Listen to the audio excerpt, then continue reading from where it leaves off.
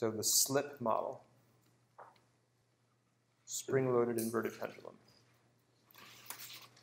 Okay, so um, drawing it a little bit more carefully here. Got a big mass, a leg with a spring. Wow, this.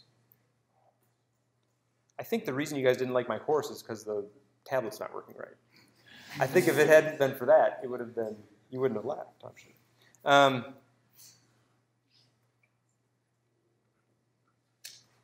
so I'll, I'll, I'll worry about the angle of the leg relative to the ground, the mass of the body, the length of the leg, of course, is now a new variable.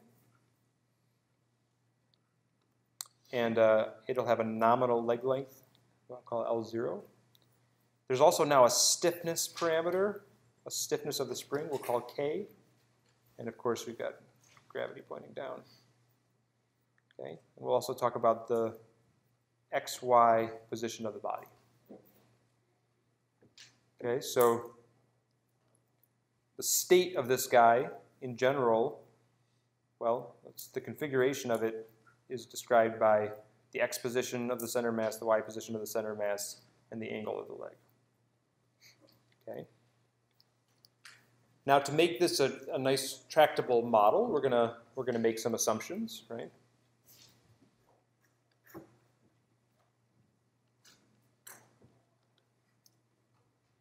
Um, we're gonna we're gonna say that the um, the leg and the toe are completely massless. Okay.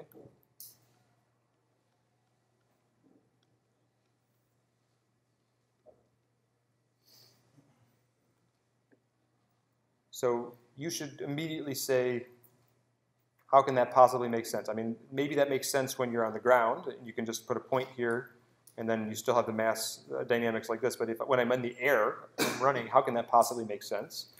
Okay, that implies that um, we're going to have to assume in the air we're not modeling the swing leg dynamics. We're just going to assume that you have a controller that can instantaneously place the leg wherever you want it to, to be um, for the touchdown angle. So we're going to command touchdown angle.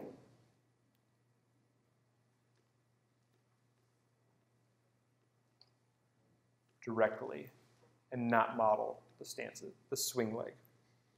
Okay?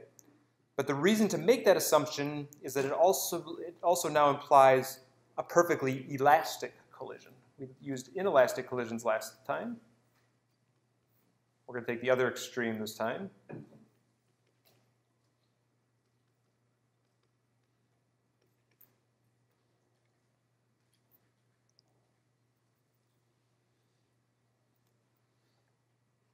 Okay, so we have no energy lost to the toe because I'm going to assume the spring is efficient, is perfectly efficient. There's no impact here. Anything, as the, as the contact is made, any energy is stored in the spring and then restored as, the, as you bounce back, okay? So, so that means actually there are no energy losses in the system.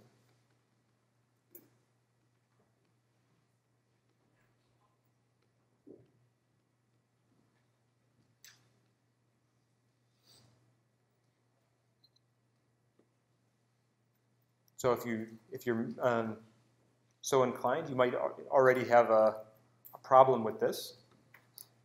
Um, presumably we're going to ask about the stability of this thing. Is it a stable hopper? What are our chances of getting stability if the energy is always conserved? Not so good, right? So dissipation is, oh, sorry. So if you're assuming that there could be an aerial phase here, potentially the next state variable, because L is variable, right? Oh, I'm sorry, L is, is in this too. Thank you very much. I forgot to write L in here. Also in stance, we need L. I just forgot to write it. Good catch. Right, so um, if you have a system that has no energy losses or gains, then you're not going to have a stable system in the full sense. But what we're going to have is, uh, is something, a partial statement of stability. That sort of on the, what, what we're going to work towards is given the constraint that energy is conserved, the rest of the states It will not be stable in perturbation and energy, but in every other direction it could be stable.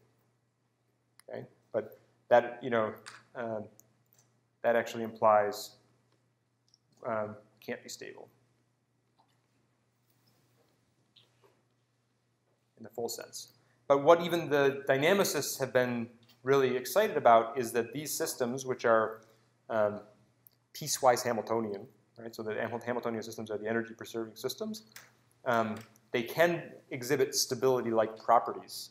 Um, some of these hybrid systems that, that a, a, system that converges, conserves energy in every hybrid mode, but switches between hybrid modes can exhibit some stability properties beyond what you'd expect from a normal Hamiltonian system, but it can't, it will never restore a perturbation in energy, so it won't ever be really stable. Okay, um, so this is still going to be a hybrid model, right? So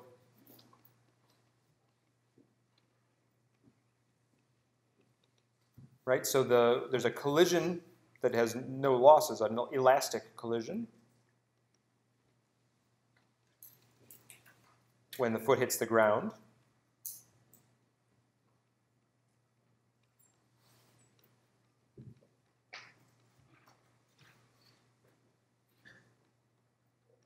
And then we'll say the robot leaves the ground back into the aerial phase whenever the leg reaches its rest length. So we'll just say the spring ex extends, and when it runs out of run, then the robot will leave the ground.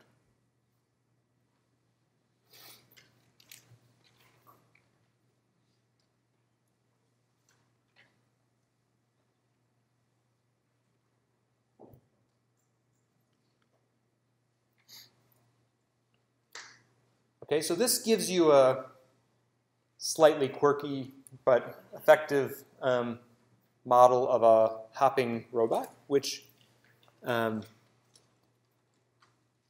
you won't be surprised to, know you could easily put in the software and simulate. Um,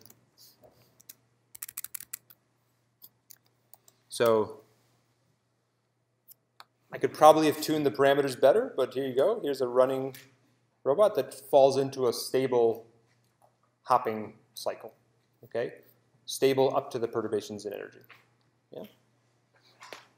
Okay, so let's try to understand that model using the return return map machinery.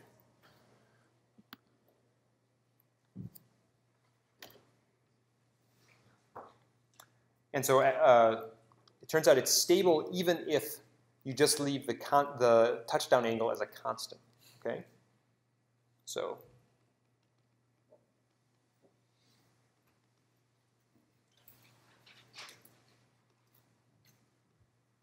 won't write stability, but long-term dynamics.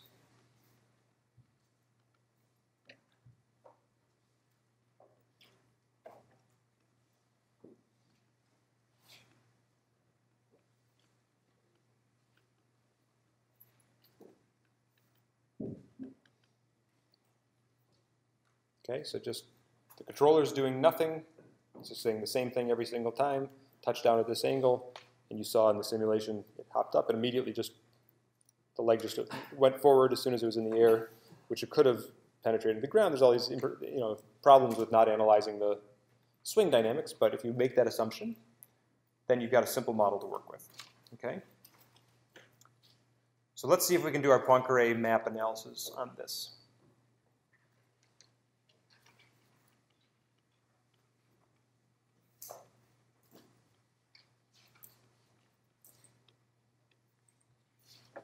Okay, so um, the rimless wheel, we chose the surface of section to be at the instant when the foot hit the ground.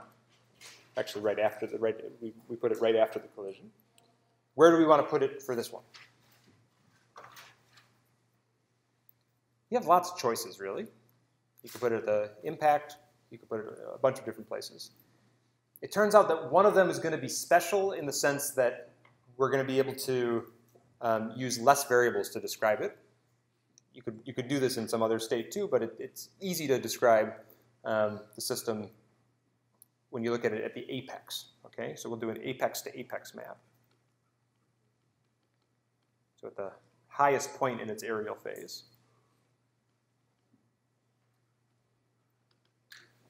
Okay, so um, at the apex, we have x, y, theta, x dot, y dot, theta dot. L is a constant in the air. We don't model L in the air, right? So well, I'll just write it L and L dot. Okay, but in general, that looks like it's going to be a hard thing to plot from you know, all those variables to all the next variables. But it turns out things get simpler quick, okay? So first of all, we already said that the angle we've basically taken out of the equation said that we're, we're not modeling the swing dynamics, so those are irrelevant to the dynamics, right?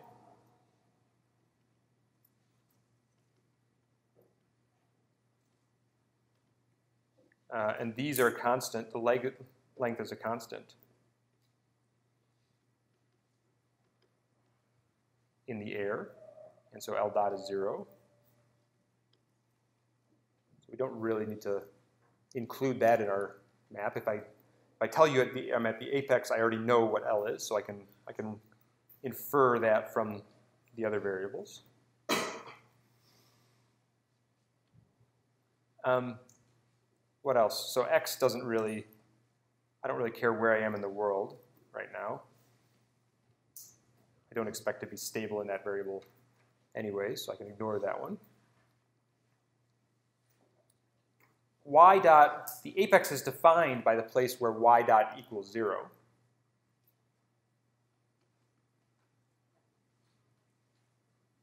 So I can get rid of that one too. And suddenly I'm just left with y and x dot. If I know y and x dot, I can infer the other, what the other state variables must be. So I can write my, my dynamics as a function of y and x dot and get to the next one. Turns out I can do even one better, which is all I need. I can infer one of those from the other because I know that the energy of the system is conserved. So if I know the total energy,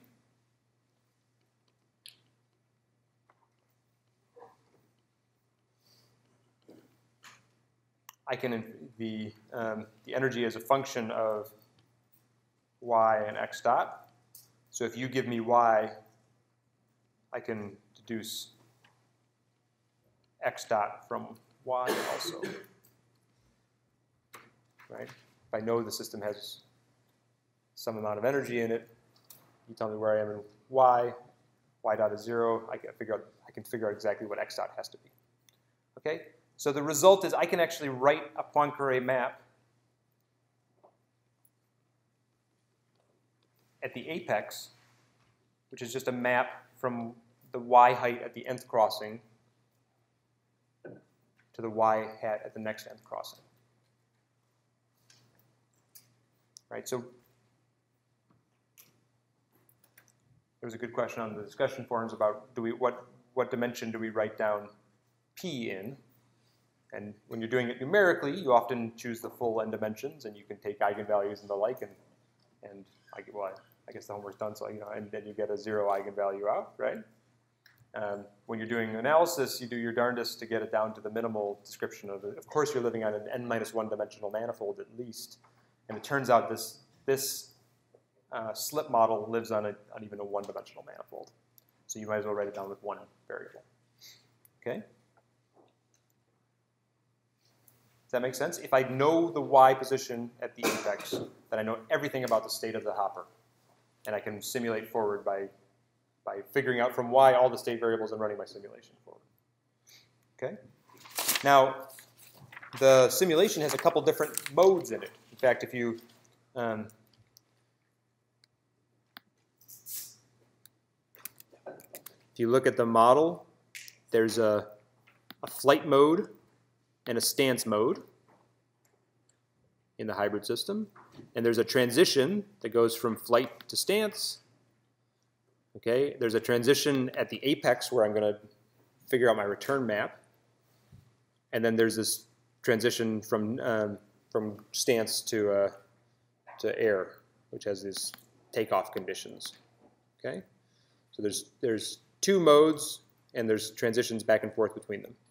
It happens that because we were taking the analysis at the at the top, we, I put the flight in two separate modes. So there's they, there's a flight one and a flight two. This the the flight two is up to the apex, and then there's a transition to the next one, just so we can write the the Poincare map there at the apex. Okay.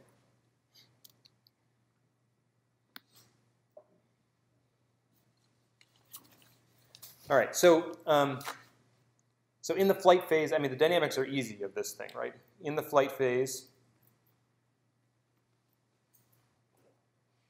the dynamics are just a point mass moving through the air. Yeah.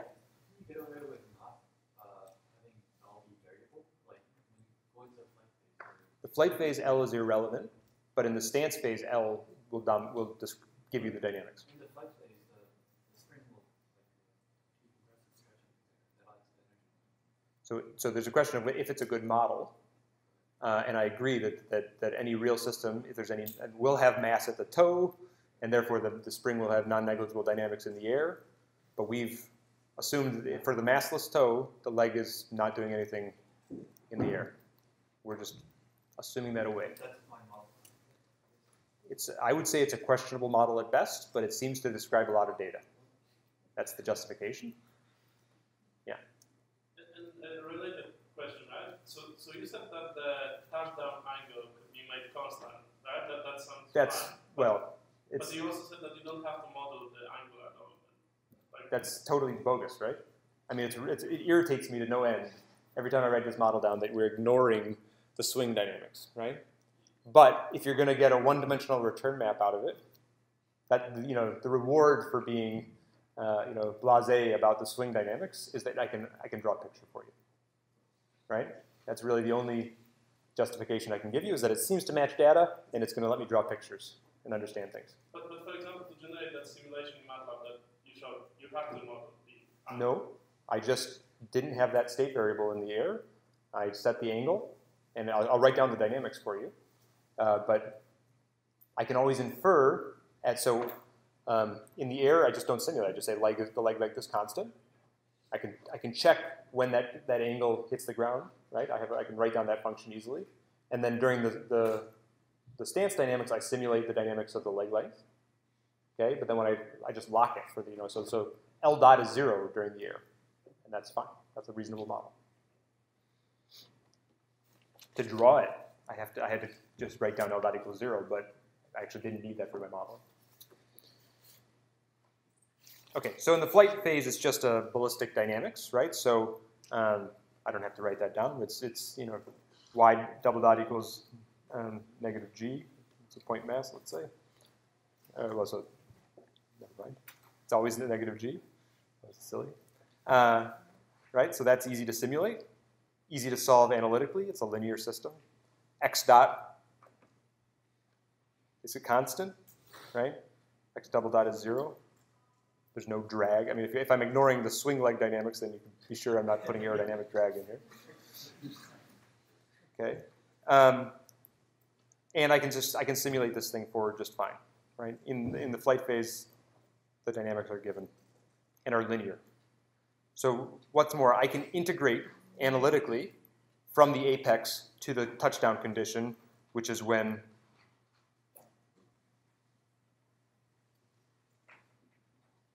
y of t equals L0 cos theta touchdown.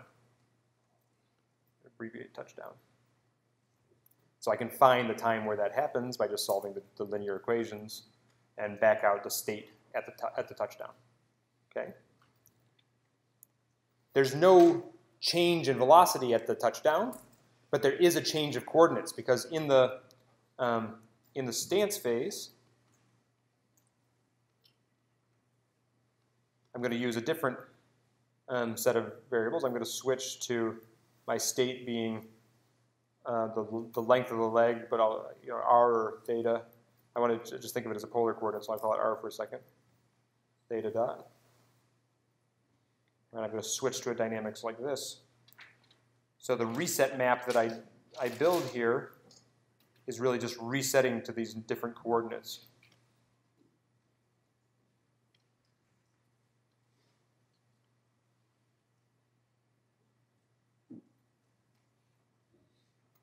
Okay? And the dynamics here are given are easy to derive from the Lagrangian too. I just have a potential energy in the spring in addition to the potential energy due to gravity. I can write down my Lagrangian mechanics and write those equations down too. They're on the paper that I've scanned and they're in they'll be in the notes. Um, but the point is that there's some nonlinear terms in there. There's a sines and cosines in there. So actually figuring out the, the integrating the dynamics across the stance phase to the moment where the takeoff happens, I can't do analytically. So there's nonlinear dynamics.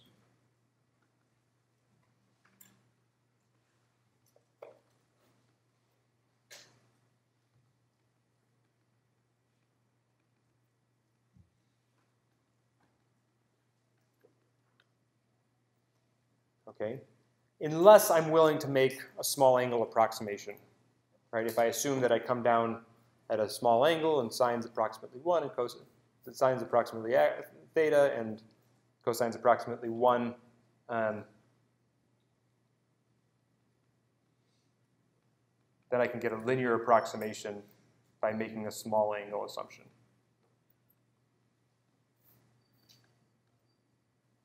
Okay, that's something that Hartmut Geyer um, recommended. Hartmut's uh, on the faculty at Carnegie Mellon now. His, his student work, he, he studied the slip model. Thank you.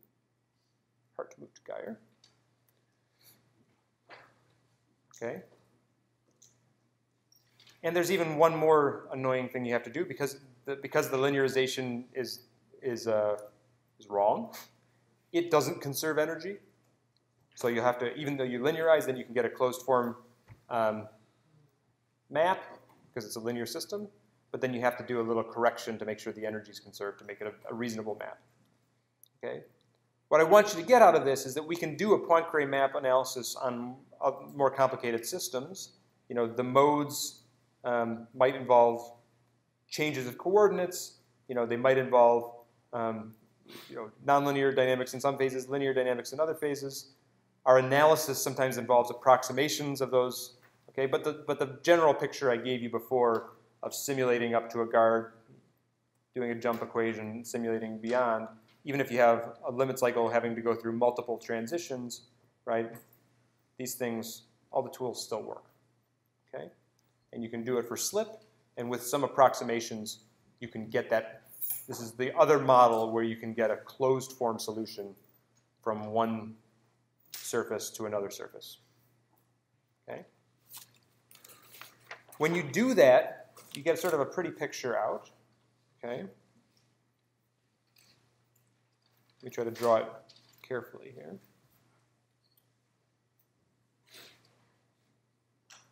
This is y at the nth apex versus y the n plus 1 apex. Now remember, for the Poincare maps, um, the line of slope 1, where it's a discrete map, so the line of slope 1 is an important line.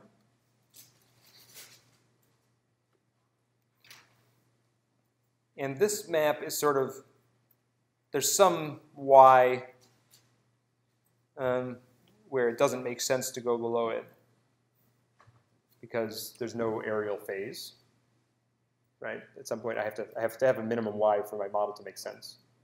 If I start below the leg length, then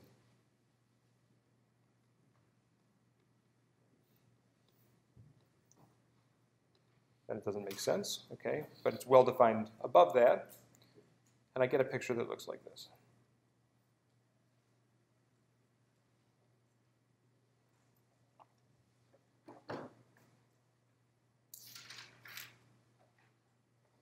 Okay, so we can ask, you know, the fixed points we know are where these things cross.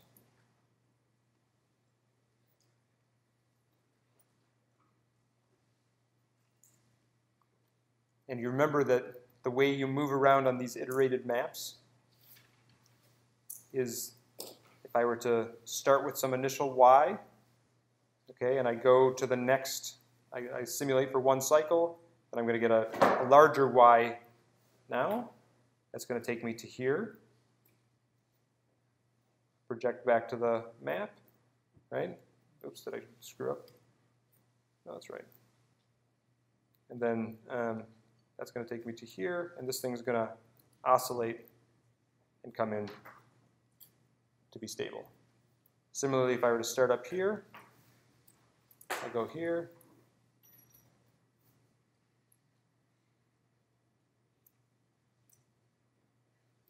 right? Do the sort of staircase dynamics. So this one becomes my stable fixed point.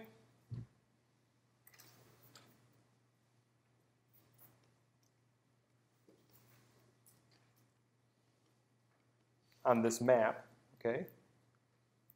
But, uh, and this one is an unstable fixed point. If I start here,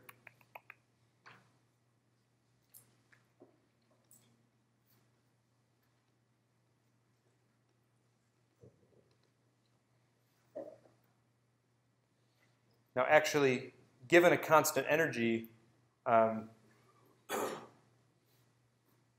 people might ask, you should, you should think like, what would it mean to go off to infinity sort of on that? It doesn't really make sense.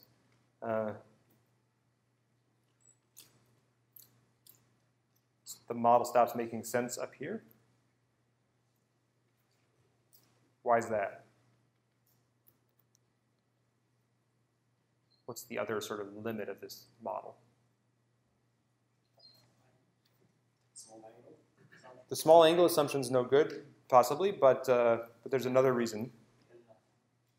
Sorry? Yeah. Not, not what I'm looking for, but. So I in order to make this plot, I had to, I had to choose a particular theta touchdown, and I had to choose a particular energy in the system. And if I start going up with y larger and larger, then at some point I don't have meaningful, you know, all my energies in potential are I've exceeded my energy in potential. So there's no energy left for x dot. And somehow it doesn't make sense to go back up past my total energy in the system. The robot stops. Or even before that, the robot will have so little horizontal velocity that it won't that it'll come in and it won't make it over the hump, it'll just fall down, uh, which the model does do in simulation. Um, okay.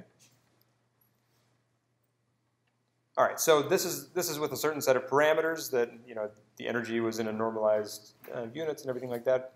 But this is a you know a characteristic. So so this complicated hopping system still has this stable fixed point here, which of course is a function of the parameters you pick but there is a stable hopping solution that you can actually draw and understand with all these Poincare tools, given a few assumptions. Okay, now just to, just to say it one more time, um,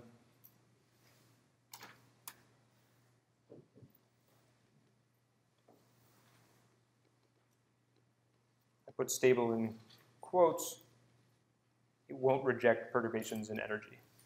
Right? So in the full coordinates, you'd look, it would look like having multiple eigenvalues of zero. And a perturbation along the energy would have an eigenvalue of one, I guess. But uh, it's, it's going to be, it's never going to reject perturbations in energy.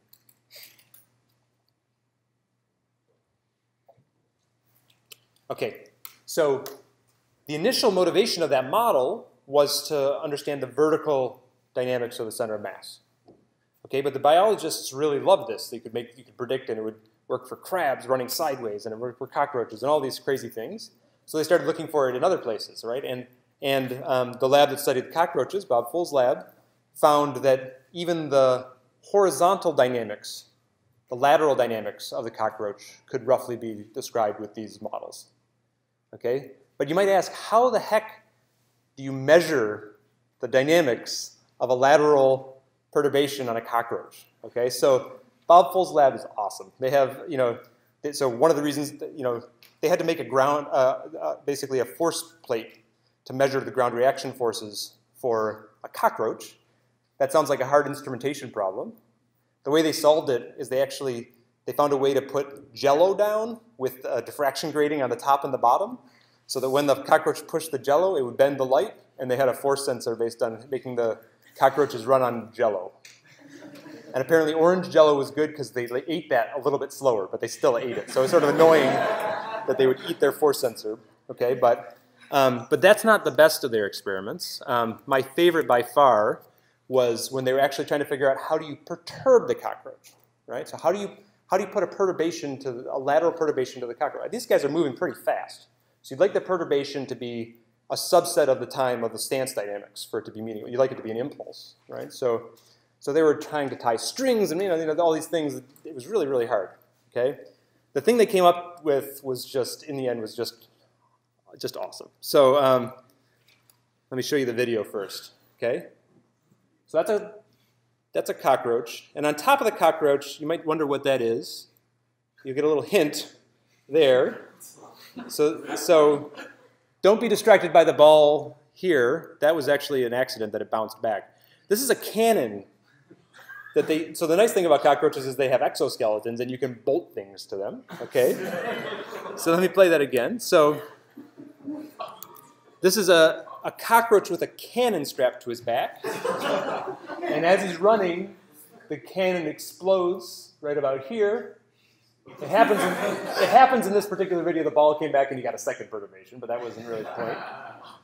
And the great thing was that um, they, were, they, were able to measure the kinematics of this guy, and although it took him a few steps to correct his orientation, his horizontal velocity was corrected within a single stride, and it matched their, what they were looking for was this lateral leg spring dynamics, so this a swing, a, a spring mass model in the horizontal. Okay, so they argued with that not only that it was uh, that the spring mass model generalized to horizontal, but actually that it had to be a physical spring in the leg because it was too fast for neural conduction in the cockroach. Now the great thing is I know Devin, who, who, who did this experiment in Bob Full's lab, he gave me the, the video, and uh, um, he, he said sort of on the side, you know, I, I, was asking him about what it was like to do that experiment. He said, first of all, it was, it was crazy getting permission to do it, right? You know, that was a lot of work, right? So even though you can do anything you want to an invertebrate, apparently, but, uh, but still having gunpowder in the lab is not good. Um, but uh, he just, on the side, he mentioned one day, he said, um, he said, it's surprising how little gunpowder you need, right? And I thought to myself later, like, there must have been intermediate experiments, right? Where, where it's just like, you know, there's, you know, where'd he go, you know? So I just love, I love that kind of science. Okay. Um, all right, so it turns out that the spring, um, the spring loaded inverted pendulum model has had uses here. It's also been generalized now. It, people used to think of, like I said, walking as vaulting over a stiff leg. Nowadays, people think of think about the role of compliance even in walking. That's been been cleared that, that that's important also in walking. Your center mass still goes up, but your leg does bend a little bit in walking, and that's an important part of the dynamics. And there's been nice work that Hartmut went on to, to, to talk about um, um, these models here, which could produce both walking and running by modeling now the swing leg dynamics when appropriate, okay? Having two legs, basically two spring mass models. And this model with different initial energies can, can give you both walking and running, okay? And what's more, he argued that the ground reaction forces produced by the model were, were somewhat reasonable compared to, to biology. Okay, so um, so let's do a little bit more. So now, so this was all given um, given a constant command, right?